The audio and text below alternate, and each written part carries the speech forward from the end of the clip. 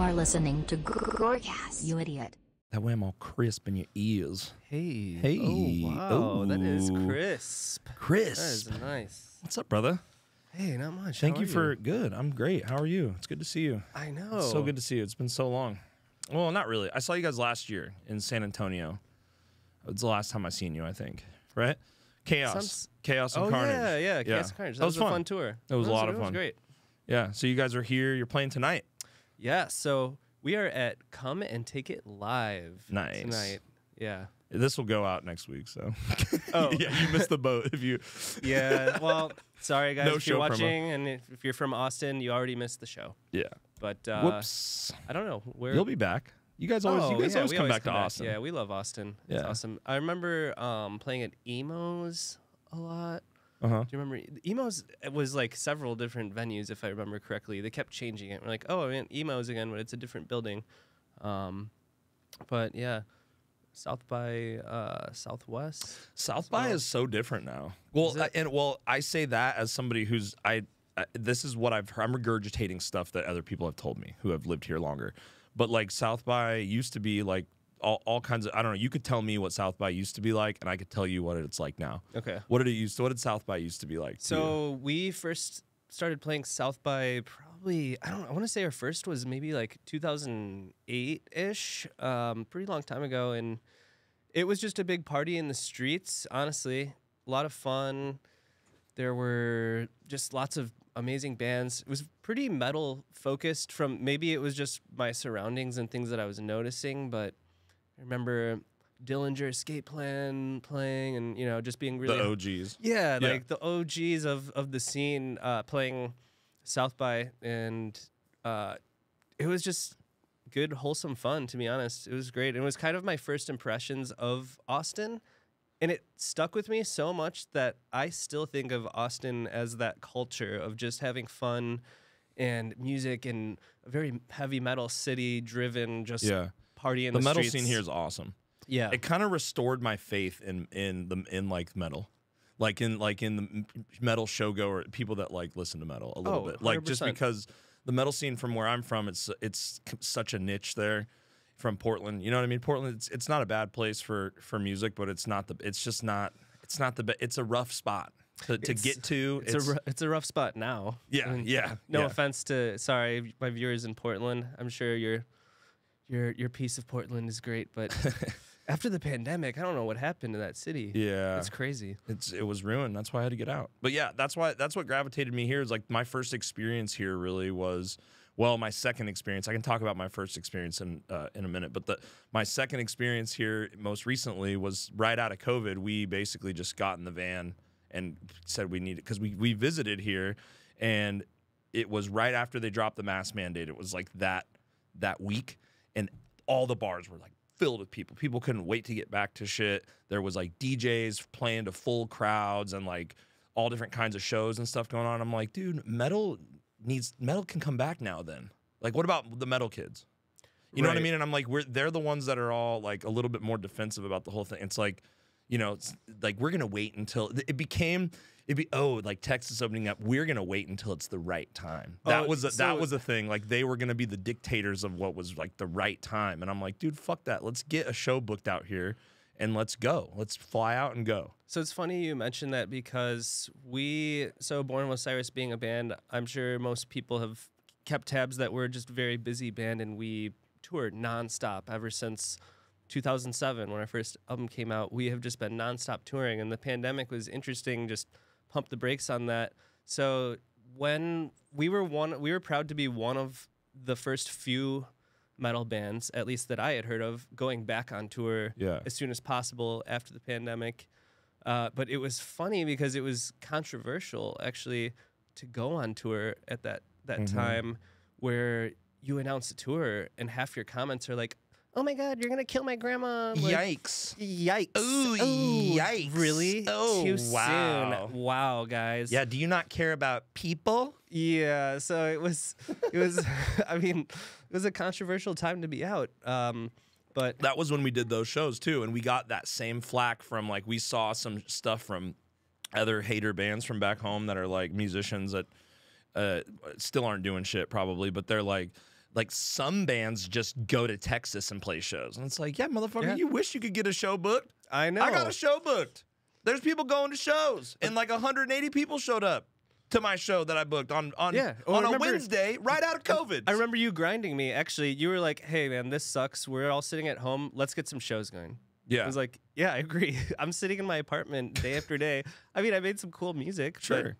Yeah. I mean, I want to play shows. You know, this Yeah. sucks. But, did you uh, think it was gonna be like over?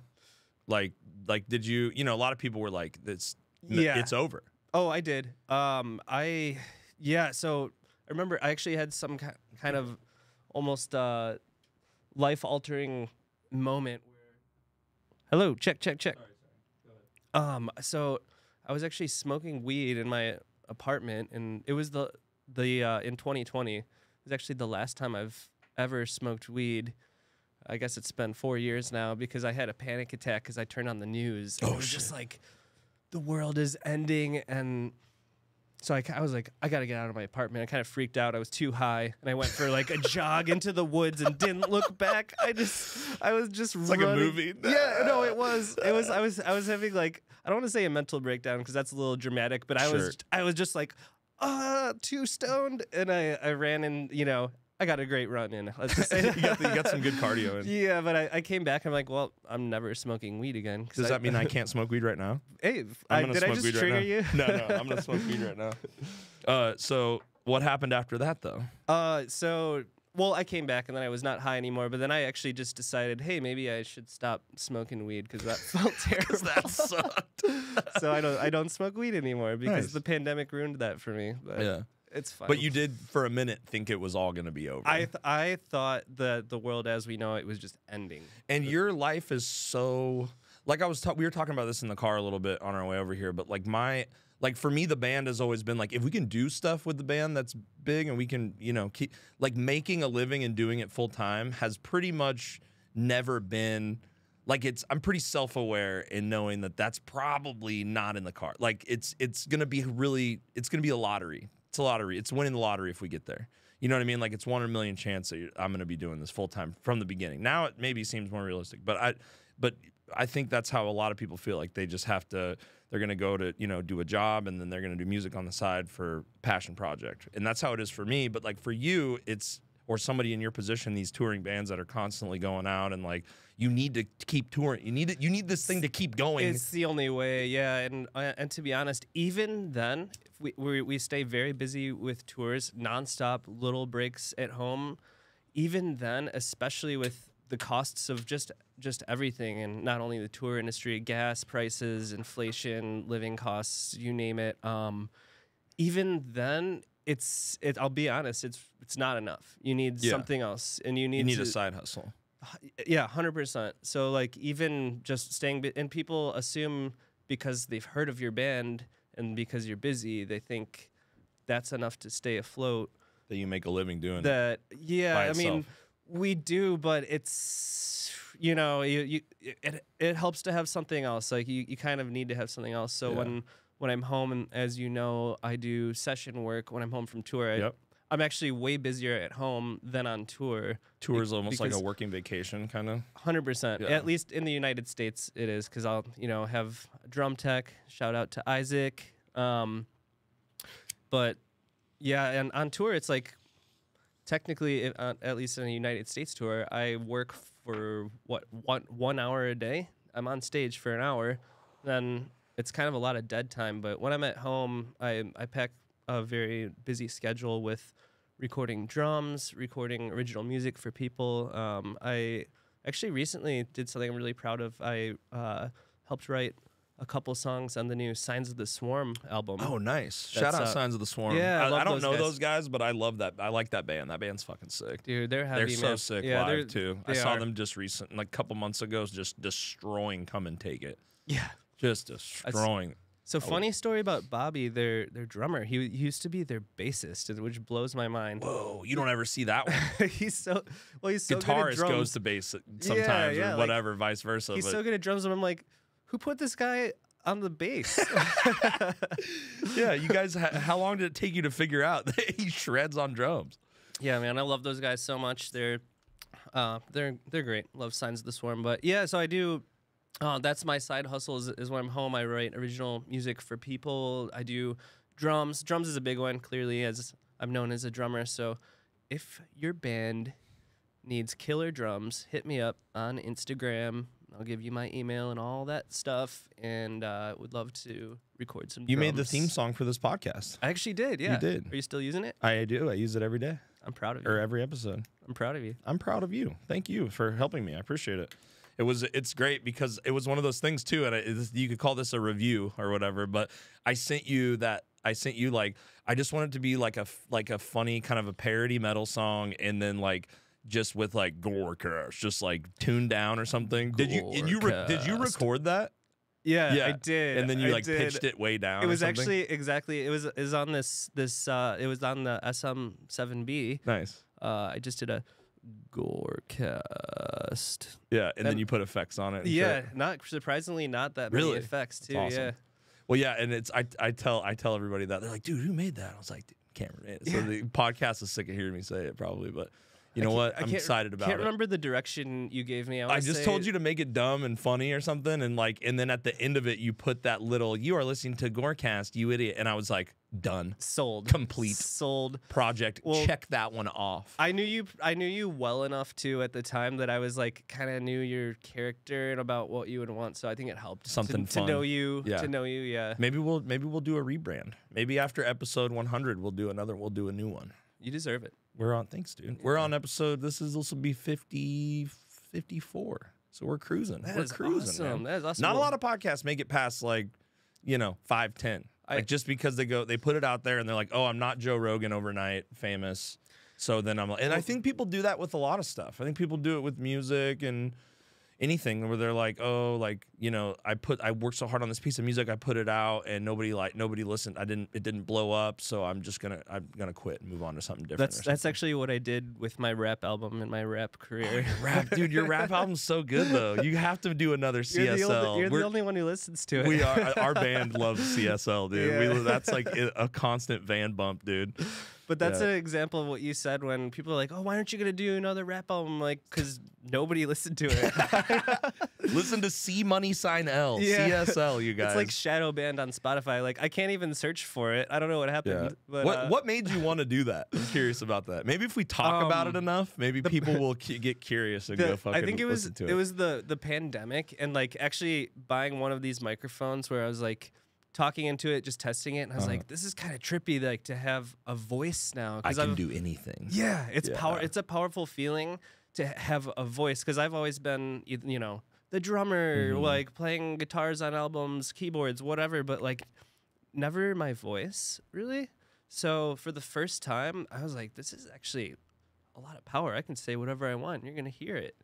It's the Um, perfect blend of to sell your rap album to people. So hopefully we get another. I'm I'm dead. I'm dead set on getting another CSL album, dude. So we have to blow. we have to blow it up. it might happen. It's on me if we. If it's on us, you guys, to to to blow this up so we can get another one. So if you- yeah, it can't be over. if you guys haven't heard the the rap project, it's uh just search C money sign L.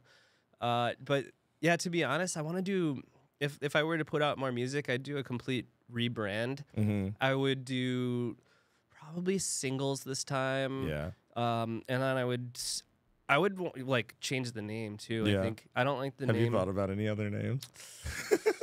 C Losch makes the C. most sense. C. Losch is no pretty one can sick. qu- no one can question that. But No. I don't know if, if if you have anything in mind. But I don't know. I would have to think on it. I'll text you something. But I love the music because it's such a blend of like you're so musically talented. Just like a lot of people don't know. I didn't know until you told me re, like uh, last year that you wrote you write most of the a lot of the guitar stuff too, right? A lot of the music for Boo. What like what percentage is it? So, um, the first album I wrote and recorded all the instruments on the New Reign, like everything except for vocals. Flex.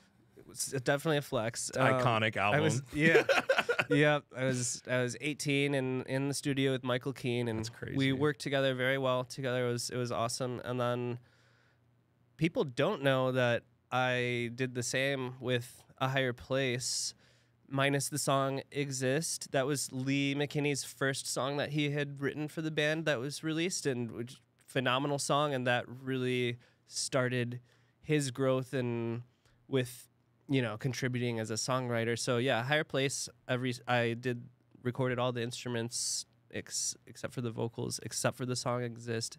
Then the discovery, which I also don't get any credit for writing anything on that album. Yeah. Uh, me and Lee wrote half the songs, half of me, half Lee, and then uh, Jason Richardson wrote "Behold," and he did a bunch of solos. And I thought, uh, like all of us, although we were butting heads that whole album, it was really we were band almost broke up writing that album. But Yeah. I, it's a great album. We all worked together. It's together. unfortunate that that stuff had to go down b- the way it did, just because I think anyone like you know we're friends now, but I'm still a fan of the band from you know my childhood, and so it's like we love that out. Like fan, we as fans love that album, and it's just like ah, you know, I'm sure you've heard this, you hear this shit all the time, but it's like you know, it's like it sucks that politics made it so that we don't get to hear see those songs be played anymore because you guys don't like to play those songs really, right? Mm, Or do you? when you say you guys, yeah. not me, I'm I'm begging to play those Oh, songs. oh, shit! Okay, yeah. all right. I didn't mean I didn't want to get too deep with it. It's not know. my I don't know how deep you want to go on any of that stuff. We don't have to talk about that stuff if you don't want to talk about. But it. yeah, we made a killer album together. Um, yeah, it was awesome. But yeah, so I uh speaking of writing music, I actually my other so we're done talking about the rap album. Yeah. I actually have another um, project that I'm also very passionate about called Unsolicited. It Unsolicited, is my yes. solo and you're aware of that and it's my my solo metal project. So I do already have two albums out. Very shreddy, very heavy. Very shreddy. It's like instrumental. Born of Osiris sounds like more of like our early stuff a bit more. Uh, and then I just finished the third album, Nice. so that I'm I'm hoping. Cruising on that stuff. Yeah, you're just a powerhouse of creativity, dude. How do you how do you do it? Because I if we can get real for a second, I and I talk about this all the time, just like on here is like how to, and I try to figure out how people like stay in the creative zone. Because for me, I get so bombarded by like there's all this stuff I want to do. You know what I mean? And like there's all this there's some stuff that I have to get done.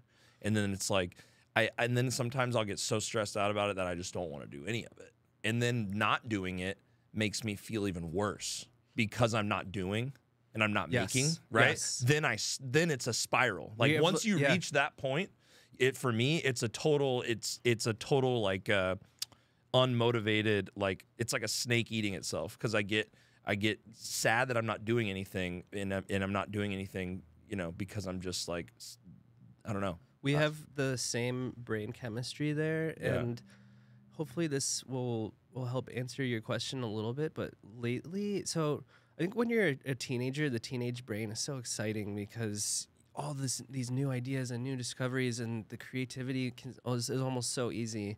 And then as you get older, you get a little bit more burnt out, a little bit more jaded.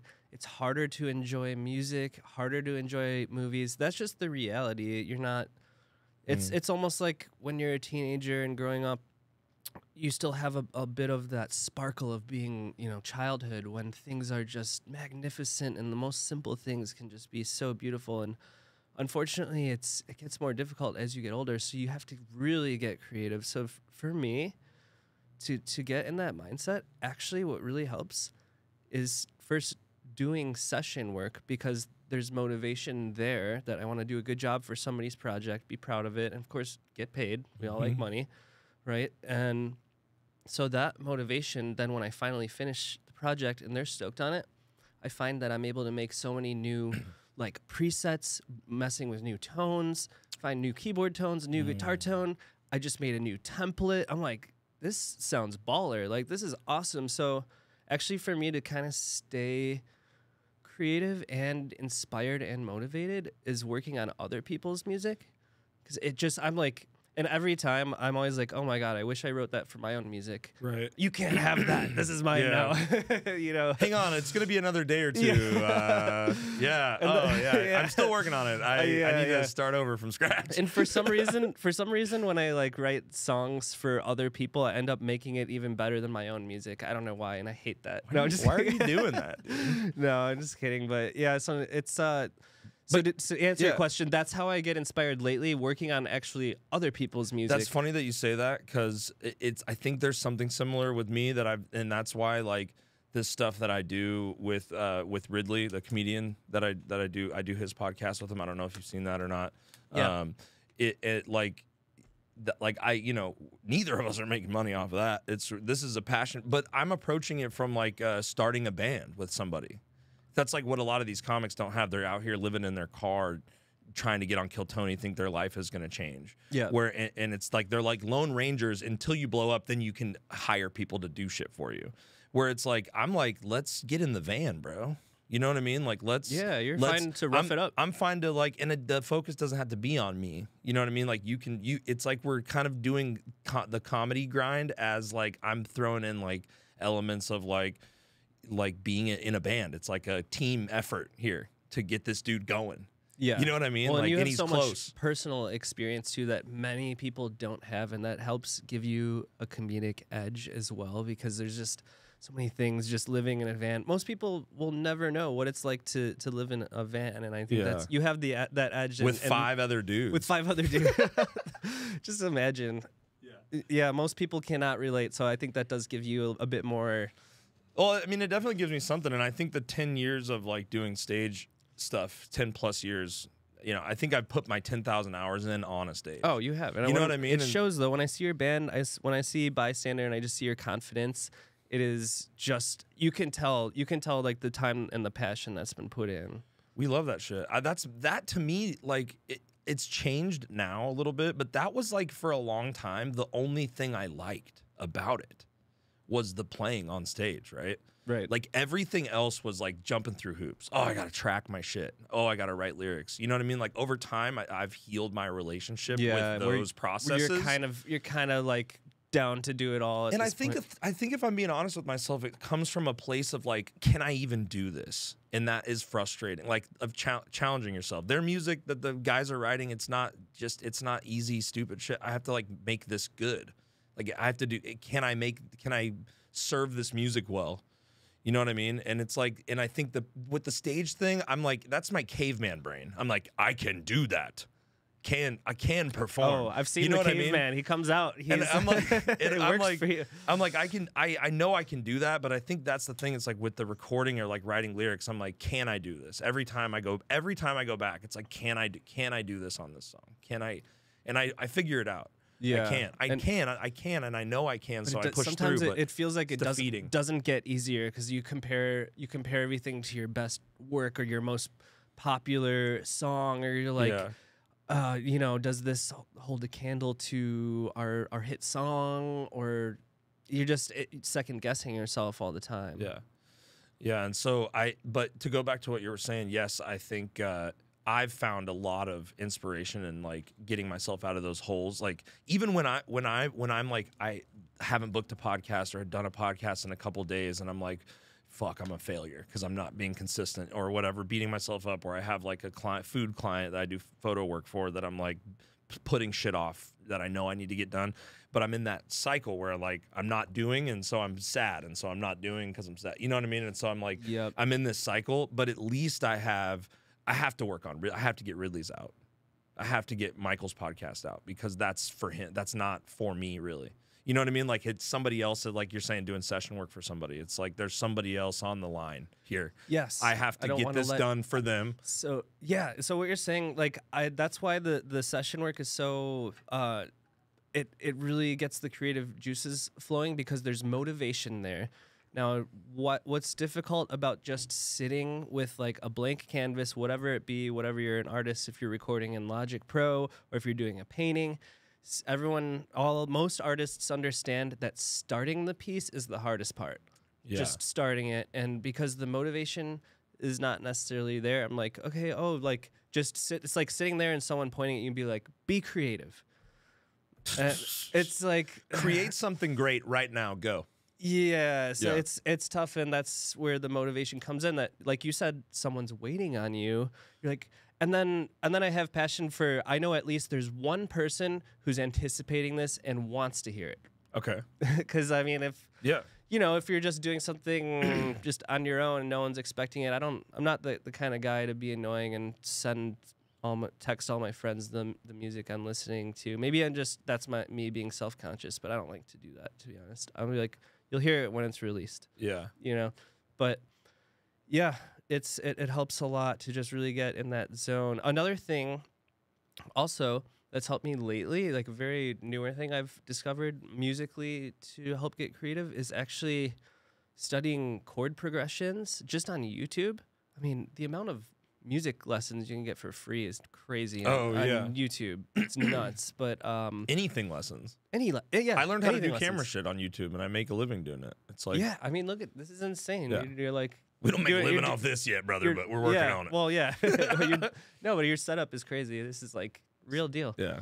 But yeah, I just I'm lately my new uh my new fun thing to nerd out at home has been Chord progressions. yeah, learning like jazz uh chord Mm. progressions. They they really fascinate me and it's although I'm a pretty diverse musician and I started on piano, I think I utilize more the classical kind of just you know Beethoven or just movie music sounds, uh, Yeah. John Williams, Danny Elfman kind of style. But I'm like, well, what's up with the, the jazz world and the jazz chords? And, and it's a, it's an area that I didn't have never naturally picked up on. So I'm just fascinated by a lot of the ch- chord progressions because I think I would have never discovered them on my own Mhm. with a lot of other music I've just discovered by ear and messing around. But it's been cool motivation uh, to utilize these jazz chords. What are you like, looking new up music. when you look this? When you look in the, if people Uh, want to look shit up like that, I like, just look you- up jazz piano chords. Okay, Just type jazz piano chords. and it just comes up with just like a. It's just a piano. GoPro it's on a, a- it's just a, the keys? it's just Oh. somebody with with the piano and tons of videos, and you can put in all different prompts. But Yeah. so, and it's not like I'm stealing music. A lot of people use the same chords, but at least you get a nice start to a song. We're like, oh, I like those chords. I'll use those th- chords, pick my own BPM, add my own melody to it. Mhm. Uh, that's been a source of inspiration. So you will hear on the the third unsolicited album that Yeah. there's some some jazzy stuff and some brand new some brand new sounds on there. Doesn't sound like me, which is cool because I, I don't want to always sound like me. Ne- always instrumental for that one. Is it always going to be instrumental? It will That's be. your instrumental baby. Yes. Nice. Except I'm singing on uh, Oh, yeah, a lot of it. I sing a lot, but there's not okay. really like words, but there's It's a like, lot of "Oh." yeah, there's a lot of stuff. ho. Yeah. Yeah. Yeah. But there's no Oh baby, baby, how was I supposed to know? Or the uh, wah, like the you know like the high the auto tune high I pitch. believe I can fly. I believe I can touch the sky. Ooh, that was good. That was Oh, dude. I'm I'm hundred percent a singer now. I I. Since I've seen you now, since I've seen you, I'm like the I'm gonna show you new bystander in the car. Half of it has cleans on it, and they sound cool. And I'm so happy. I've never been more excited about a piece of music in my life. So we're gonna listen to I know it. what we're doing on the drive back to the venue We're to gonna the dri- show. We're gonna drive slow. It's gonna stop. We're gonna stop at the gas station. No, also, also that, you better you gotta take me to the karaoke bar later. Let's go. Oh, we're gonna we go to uh what's that place called? Uh I'm spacing on it right now. I always drive by it. I know exactly where it is. There's a there's a there's a place that's a karaoke bar every day. yeah. It's that they are a the premier karaoke bar. And it's a there's a place that's karaoke bar every day. I can't remember where it is, but it's not far from the venue. let's we do can it. go. Let's Um, do it. But uh but fuck, I forgot what I was going. to Oh yeah, the I but similar to what you were saying, I think I w- went back and just started listening to old music. I was like, you know what? I've just been listening to like the same 2009 metal albums, you know, 2009 to to the range, you know, the the, like, the golden, golden the golden era. era from Jinx. From from 09 to 2013 or something. I don't know. For me, that was just my that was when I was the most into shit and I, that you know, like within the ruins elite album is like that's just like like my, one of my favorite albums in the genre to me. You know, and I don't know if you I remember love which it, dude. I I love, love that them. band. I love them so much. I think they. Ne- I think they're they they they're doing just fine, but I don't. I still think they're criminally underrated I think forever. the world has never never been ready for that band. no, no, and they're so fucking good. But um, I started going back and listening to like old stuff that I used to listen to, like you know, for everything from like Korn and and that stuff to like like nu metal stuff to like Incubus and shit. And I like rediscovered how much I love that band, and I was like, oh my. me. Yeah, yeah, exactly. Pardon me while I burst. into flames. You know, like Okay, that's Yeah, way better than. I was doing. Uh, I knew it was one something like that. yeah. I mean, we could pro- you could probably do it, Dude, in- but his voice is hard to re- No, replicate. that whole band is gnarly. Like if you listen to the musicianship of of Incubus, the lyrics are so sick. Are they? I They never are. really delved, Yeah. delved into There's it. one. There's one called uh, "Blood on the Ground" where he's like, um, "I bite my tongue every time you come around because blood in my mouth beats blood on the ground." And I'm like, dude, that's hard. Whoa! That's hard. I thought you were That's just say a song about not kicking someone's ass, dude. You that's know what I mean? awesome. I, thought you were gonna say blood on the dance floor. No. Okay. No, I never. That was a that was a weird thing. I I kind of always ignored that. It was in my peripheral, like just Right. everything that went on with that and any of that. I think I like pressed play for one moment and it was like, wow, wow, and it sounded really weird and like whiny and scary, and I just turned it off. And I was like, I'm, you know, we're just gonna put that over there. But I don't know. That's kind of a strange. That was that was a strange time. It's like scene. What was that? It was strange times when I listened to them. yeah. Oh um, yeah. You were into that. Yeah. Nice. Yeah. Sorry, dude.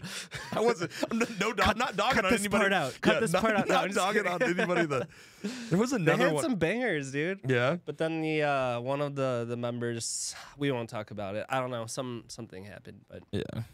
anyway. But yeah, I started finding a bunch of old like, you know, just like I started listening to like Dreams from Fleetwood Mac radio, and it's just like so much old good music that I was like, oh yeah, he said Doobie Brothers slap. Yeah, You know talk- what I mean? Talk Like- about getting inspired, though. I yeah, mean, the old shit gets me hyped on like singing and gets me hyped, gets me inspired to take risks and do different shit. I don't know.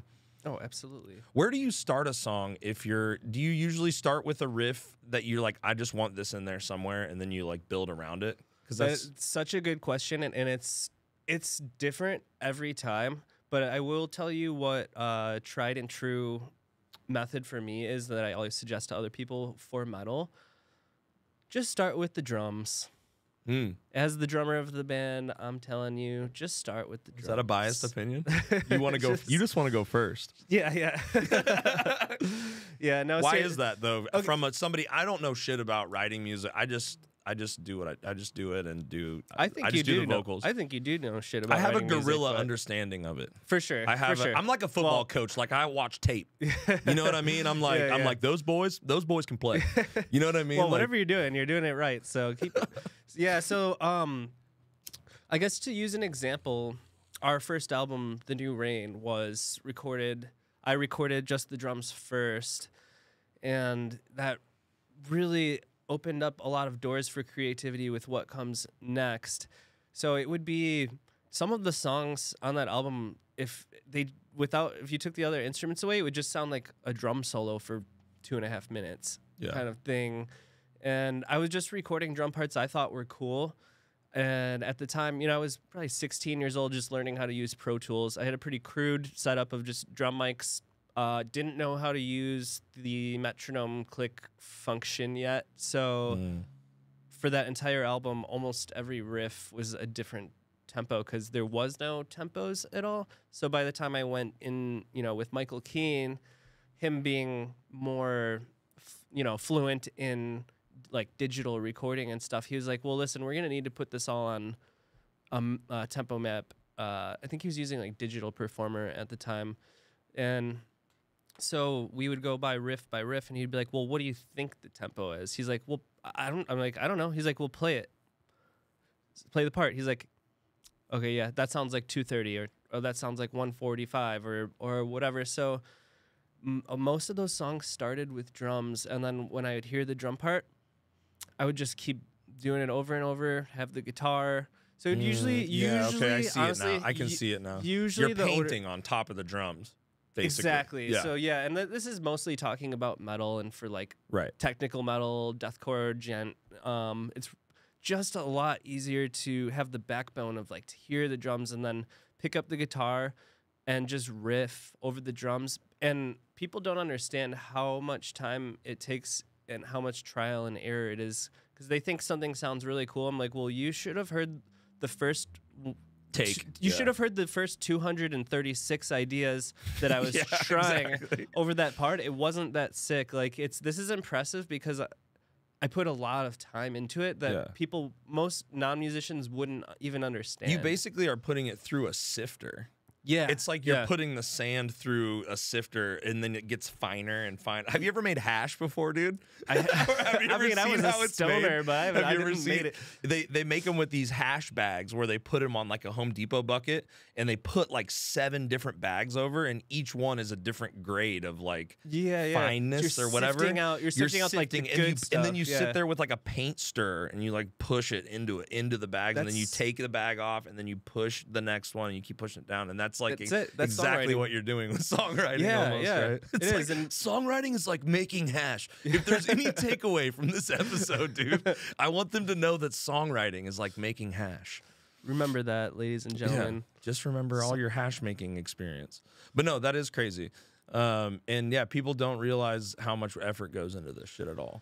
No, no, they don't. Like Yeah. the mu- musicians know, and I, I do think it's probably a lot of musicians watching, but don't don't get down on yourself too. If if you're like, why is this taking so long, or oh, you know, why why does this equipment cost so much money? Like uh, that because it does. It it you know, good gear costs a lot of money sometimes, and writing good ideas takes a lot of time, Yeah, which is also money. So which is money. Yeah, so yeah, and it's like taking away from like it's like nights that you're not spending at the bars or being social. Being social. Yeah, we were just talking. We talked about sacrifices before we turned the cameras on too. Luckily, it's I had like so many. I had anxiety and depression in in high school, uh, so I staying home was a no brainer for me. I didn't want to hang out with anybody, and so Nice. immediately, like when I like when I would be in school, I didn't really, you know, school wasn't my thing. But I would a lot of times, if I was just really frustrated with a test, or I was like, I'm gonna fail this for sure. I'd turn it over and I would write. I would write drums. I would write drum parts. I'm like, like well, writing out writing music out notes? music notes. Yeah. Okay. So there so you have. learned all that stuff. So there you have brace legs. You know, it's Yeah, like yeah. I was like, hmm, I could either fail this test or write the drum part for brace legs. So which do you think I chose? Brace Legs is my favorite song. Doing that part with you guys every night. Oh, dude. Oh that was God, so you much. killed it. It was so much fun for me. I, I, it's one of those. It's like a crazy that it happened to me. You know what I mean? It's just fun. I love it. It's We'd it's a, it's a great memory. I watch that video every every now and then when I'm going through my shit and my phone trying to free up space, and I'm like, fuck, dude. Oh, it warms my heart. You It went crush, hard. You crush that with us every night. Hell yeah. So funny story. Speaking of uh, writing, writing drum parts. So I went uh, to a rehab when I was 16. My parents sent me to an inpatient rehab called Rosecrans in Yes. Rockford. Yeah, Rockford, Illinois. So the way that song Rosecrans is track one of our very first album. For those who don't know, In the old name of the band, right? Yes, it was also the old name of the band and inspired by my situation, I Mhm. guess. So it was inpatient. I was there for about a month and they had group therapy each day. So we would all sit in a circle, we would have notepads and we would talk. So during group therapy, I would actually just I was r- writing a drum part, and I ended up writing the drum part to Rosecrans. Like mainly, it was mainly the the break that just it makes no sense. It's the part that's like.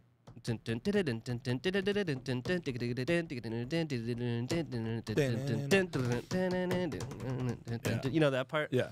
that's just like a tongue twister in any instrument. So I, I wrote that drum part kind of just for fun because I was like, oh, I'm gonna go home and record this and just see it happens. Like it's kind of ridiculous, but why not? I'm bored. This would be fun, kind of thing.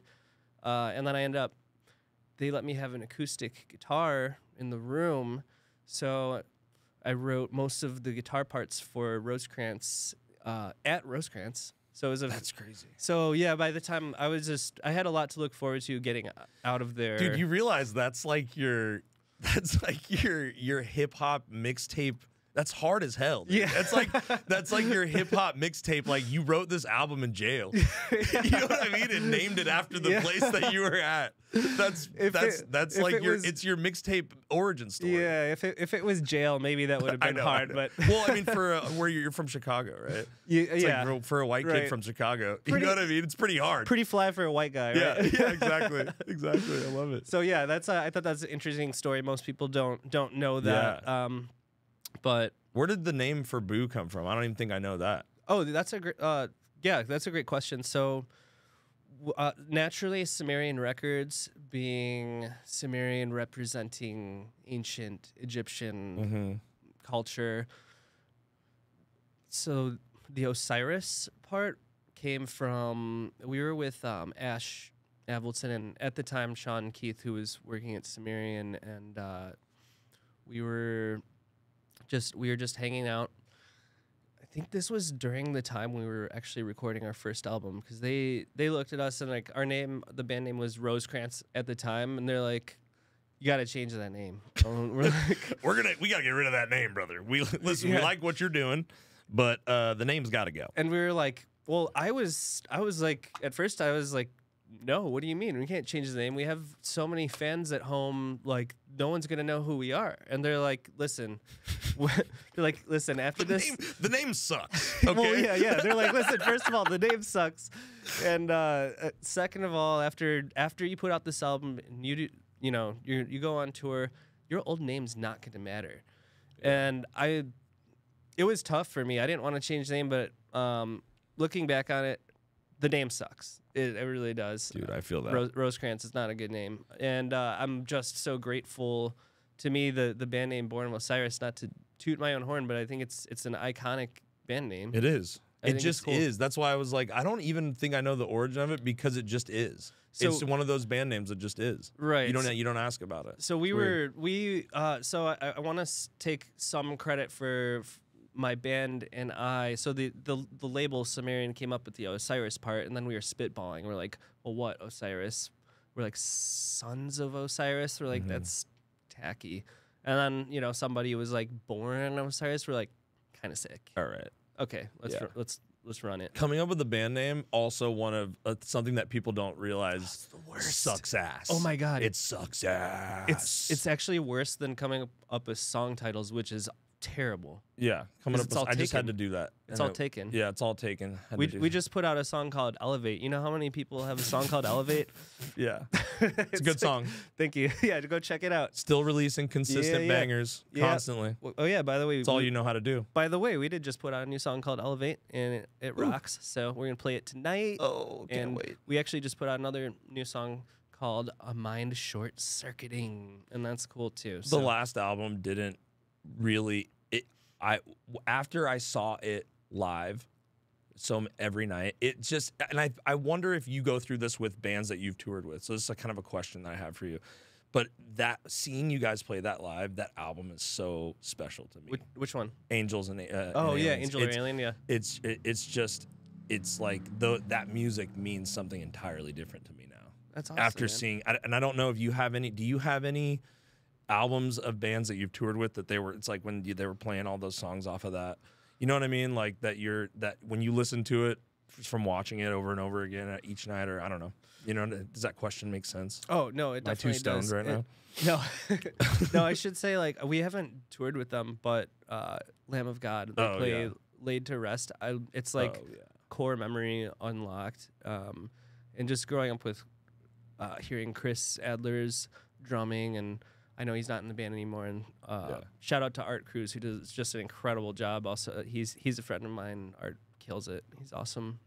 Couldn't think of a better replacement. But yeah, uh, Lamb of God is one of those bands where I, I see them play that song live and suddenly I just get a flashback of hearing metal for the first time yeah and just that triplet like chuggy just lamb of god and inspired me so much between the buried and me as well Yeah. um, if they play anything off their first few albums i'm like whoa BT Bam I remember colors listening to that. colors if they yeah they play anything off of colors i'm like my favorite bt bam albums I had BT Bam on, on my Zune what, what is a zune you don't remember the Zune back in the day What dude is that You don't remember the Zune? I wish we had somebody here to pull it up. We're Tony and everybody's gone, so it's just us two in here. But uh, it was the Microsoft like iPod thing that they tried to Oh, compete okay. with. You An don't MP remember that? an mp3 player it- yeah, it looked like a big. It looked like a big uh, like hard drive almost like that had a screen on it. clunky Yeah, but I, I had it loaded up with that was how somebody gave me their thing to you know listen to uh, all their music on, and I was like, oh shit, BT Bam. That's how I discovered a lot of bands. Was that? But anyway, your favorite your favorite album? Um. Oh yeah, my favorite between the in Me albums are uh, the Silent Circus, Alaska in Colors, and and you were talking about getting inspired. You know, back. I think it's nice to keep coming back to. Yeah, that 'cause yeah, It's, uh, absolutely. It's it's definitely it's a helpful topic as it's Shit, a this shit is hard, man. It's really hard. This yeah, it's so, hard to keep doing shit. um, yeah, my number my number one for creativity though is get inspired by somebody else's work and be like, Yeah. wow, like that. It doesn't mean copy them, but it it means do something maybe in the same vein, maybe in the same, even something as like, I wonder what what tempo is that? I like that's a good feel. Okay, then make start a song with the same tempo, or you know what tuning is that or or whatever but uh, yeah listening to between the buried and me just the sporadicness of what they were doing i'd never heard anything like that and the drums and just the su- sudden like triplets out of nowhere i'm like okay i gotta try that Yeah. it's crazy Um, I had a question that I wrote down something I forgot to ask you when we were talking about unsolicited. Why why do those songs not end up being boo songs? Or like why do they you know what I mean? Why not one or the other or what how do you like pick and choose? I guess you yeah. That's that's a good question. So some some songs that ended up being Born of Osiris rejects that just like no like didn't end up getting vo- vocals recorded over them. Well, I can't force anyone to record the vocals, so naturally the song doesn't get used. Yeah. Uh, and then I just release it under unsolicited. Sometimes I'll do like a remix and spice it up. Uh, I like uh, the third album that's coming out definitely has a, a Boo reject song on it or two, but I just, you know, Yeah. I, I, I spice it up a little bit. Okay. Uh, but yeah, when you have you have a few people writing, it's not always up to me Okay, that makes sense. and uh, but I also all- most of the unsolicited stuff I purposely started that project because I didn't want to have to play it live. Okay. You want it to be ridiculous. Yeah, Yeah. So like if I'm gonna write something for Boo, I'm like, oh, we can we can all play this like so, and it just it's awesome. Maybe I always forget about that part. 'Cause I don't play an instrument. oh yeah. I'm like, what? What? Come on, guys. you Yeah, guys can't yeah, play this shit. Come on. You got one job. Right. Yeah. So I like Oh yeah, it's when I- hard. When I'm purposely writing a song for unsolicited, a lot of the time I'll, make it purposely over the top because I'm aware that no one's planning on on playing it. Mm. And not to say a lot of it can't be played, but um, yeah, the purpose of the project was just to have my uh, imagination run wild with no limits. So I don't didn't want to be like, ooh, you know, you're not gonna want to play this every night. That's the Right. purpose of the project, just to have your imagination running wild. I bet you just wanted to do something different though. That was still Yeah. metal. Because Yeah. there's probably some things you would like to do, but that you probably boo. It doesn't fit for boo or something. But Oh yeah, absolutely. now you can just throw it in this crazy project you have over here. yeah. Yeah. And sometimes uh, the intention for a project will start as unsolicited, and then it, I'm I'm like, actually, this sh- should totally be a boo song. Like um, a mind short circuiting. It's the uh, it's the second to last single that we have released. Uh, that started out as uh, an unsolicited song, and then I was like, God, I can just imagine us playing this song live. I'm like, this needs to be a boo song. So by the time I finished it, I'm like finished it with the intentions of it being a Born of Osiris song, and then it, it did come to fruition. So you never know. Sometimes I don't even know what it's going to be or who it will be for, and You're just making it to make it. I'm just so used to recording songs and demos that never see the light of the d- of day. Honestly, yeah, Yeah. like just so much of what I write and record, and that's just how it goes. I'm not angry about it. It's just the part of being an artist. You know, Yeah. if every painting you make isn't gonna be hung in a museum. So How do you deal with uh like? Have you heard of the painter's dilemma before? what is that? It's like when like a painter just like keeps working on something and can't decide when it's done. You know what I Oh, mean? Like, oh, uh, like how do you like when do you know something is done? Because I like when I'm editing a photo or something, dude. I could sit there and tweak just the oranges, just the just the Oh, I orange hues. I could sit there and tweak those just a little. Mm, hate it. Okay, I like it a little more. Okay. And if you listen to it too much, Yeah. then it's it sucks. Like I, I would love to be able to walk and just hear it with fresh ears as if I had never heard it before. Yeah. Um, yeah, I have that dilemma as well, and sometimes you you just have to walk away and is have to finish it. There also is that like yeah that get this puppy out. Like we need to just get this puppy out. Like, Yeah. This needs to be done. Oh, absolutely. Well, then I also, as of the last two albums, I, I mix my own albums with unsolicited as well, and that adds a new layer of Oh, like shit, this is not done. Oh, God. like, so my Holy second shit. album, Luminous Empire, I, I mixed that one myself, and uh, super proud of the mix and stuff. But I I had those moments too during the mix where you're hearing it in all different speakers, and I'm like. Oh my god, the kick drum's too loud. But then I listened to it in on a different system, Yeah. like the kick drum's too soft now. And like it's just We just went through all that shit too. Hate With- it. That's the worst part. hate it. Um, I usually like to do this with musicians just because I'm so curious. I went through actually my whole band, and I had because I'm like, you hang out with these people and you know them, like, but do you really know like how they started playing music? You know what I mean? And I, Yeah. I didn't know the story for any of my band dudes. Really? No, so You've, uh, know, you've known them since I've known them grade since school, yeah right? since we were really young, but I didn't know like exactly how they started picking up the guitar. So I'm curious how you got into drum. Was the guitar first then, and then drums? Because you do both so well. So, So- oh, thank you. So I'm definitely better at drums. I'm, uh, but I started piano actually. Okay. My mom taught me piano at a very young age.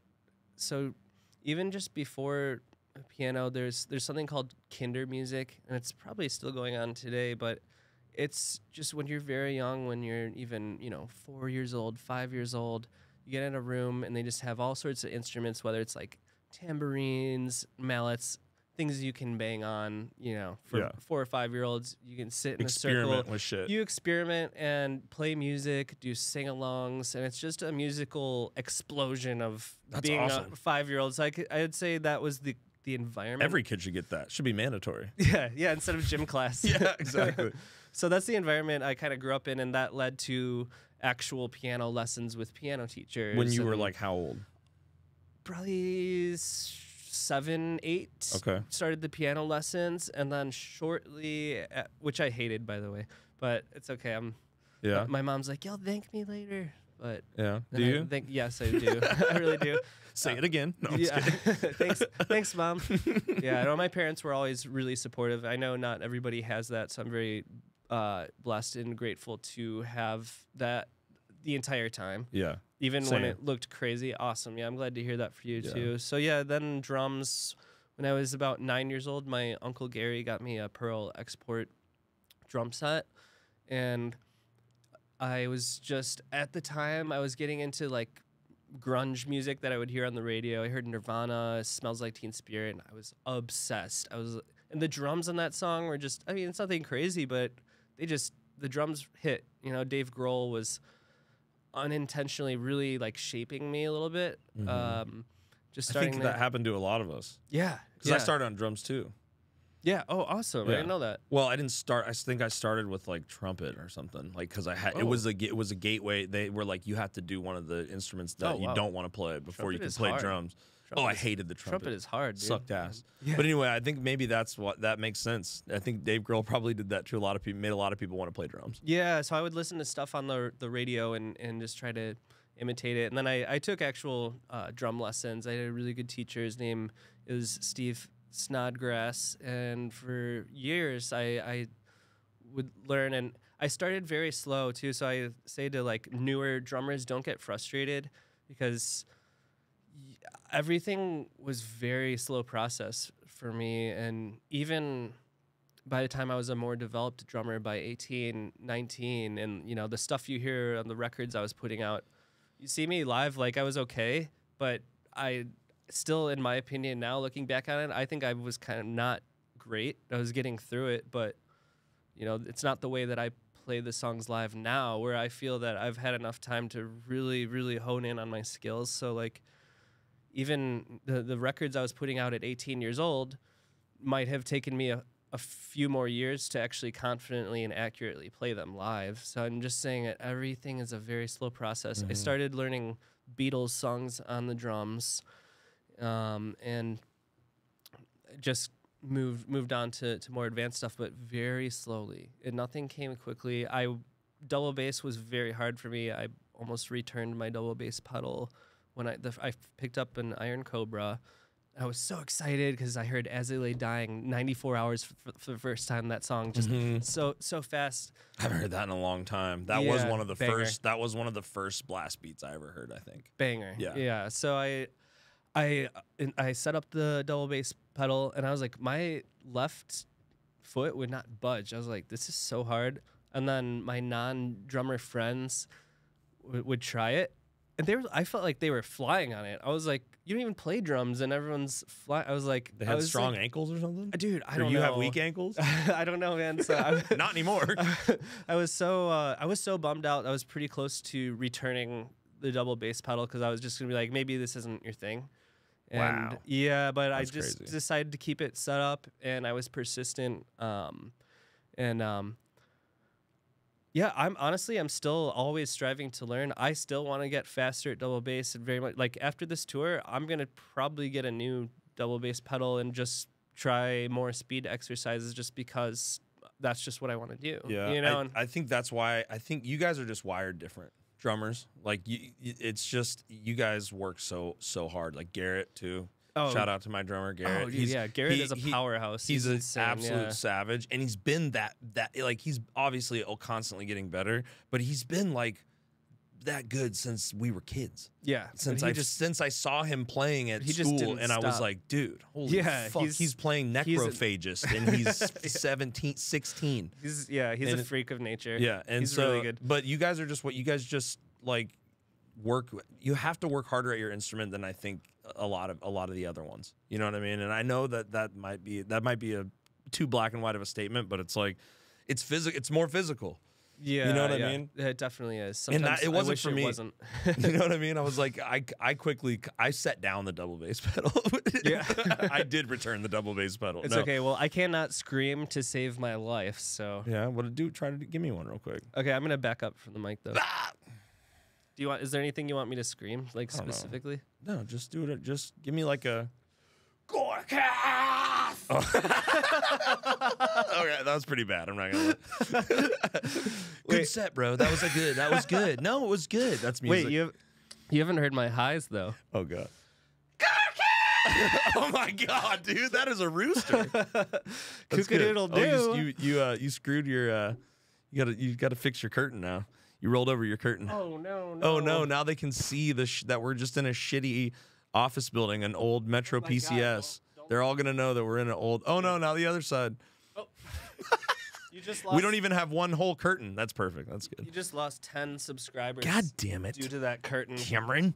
God Sorry, damn it. No, it's Sorry, all right. guys. Hope So, you like my but screams. Why your your, your, your screams need work, dude? But uh, you know we'll get you there. You still you still have the volume. I the need volume's good. I'm trying to I'm trying to pick good things out of there. yeah. I'm like yeah, the, you the volume's okay. Uh, The volume was good. The volume was good. Yeah, we just need a little you know a little more power, and then Yeah, we'll be yeah. good.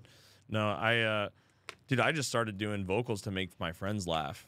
I I traced it back to that. Well, first of all, this is just silly, but like uh, my and when I was seven, I did I was Froggy in the Little Rascals play, Oh, that's so. not the movie. that's so so fitting actually with I your know, voice. That's my origin story, dude. Because I had to talk like this. You know what I Oh, mean? And I'm like, oh my god, I I put that math together like recently. I was. What's going on, guys? You are gonna hate me for this, but the last 15 minutes of the Cameron Losch pod, um, the card was filling up uh, for what we record our audio with, and we lost the audio for the last 15 minutes of the pod. Wah, wah. But uh, and you know what? You know why? You know why I didn't why it didn't happen? I didn't have my sweet, sweet Tony.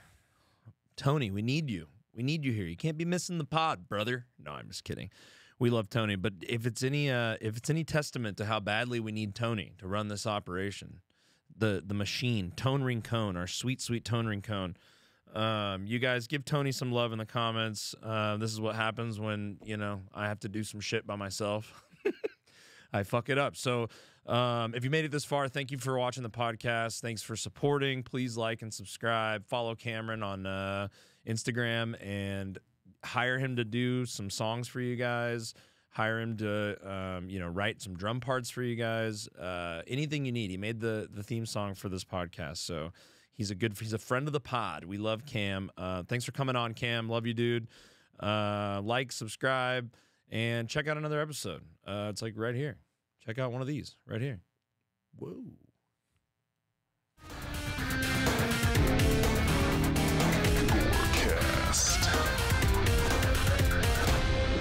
You are listening to Gorcast, you idiot.